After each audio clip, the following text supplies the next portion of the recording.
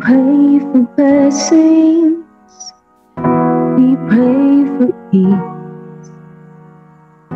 Comfort for family. Protection while we sleep. We pray for healing. For prosperity. And we pray for your mighty hand to sufferings.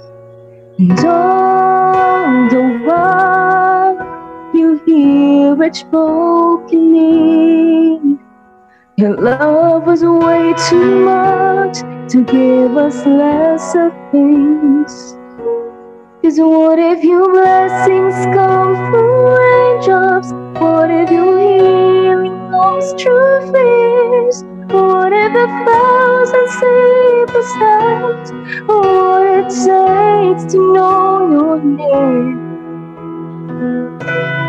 What if trials of this life are your mercies in disguise?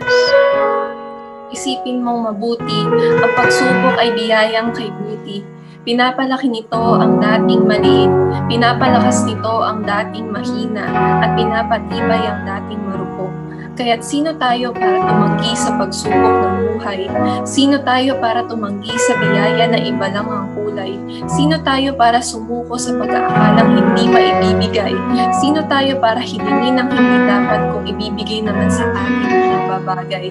Kapatid, hindi tayo nabubuhay sa mga material na bagay. Ang tunay na biyaya ay matagal nang naibigay.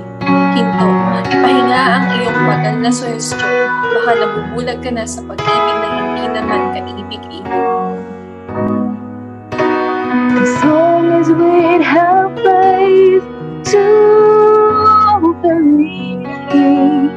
Cause what if your blessings come through raindrops? What if your healing comes through fears? What if thousand sleepless are what it takes to know your name? And what if trials of this life are your mercies in disguise? When friends betray us, when darkness seems to win, we know this this is not, no, this is not our home. Ikaw, ikaw ang biyaya na nagluma na ng kahapon. Huwag mong hayaang masayang ang mga panahon.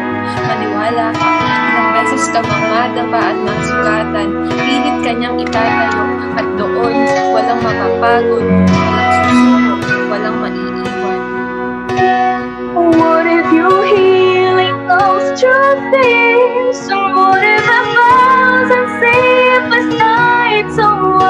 it takes to know your name? What if my greatest disappointments or the aching of life is the feeling of a greater cause?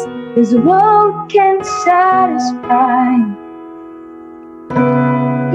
What if trials of this life, the rain, the storms, the heart is not mercies the disguise? Dahil sa Kanya, lahat ay posible. Lahat ng malabo ay mabibigyan ng linaw. Lahat ng luha ay mapapalitan ng ngiti. Lahat ng hirap ay mapapalitan ng saya.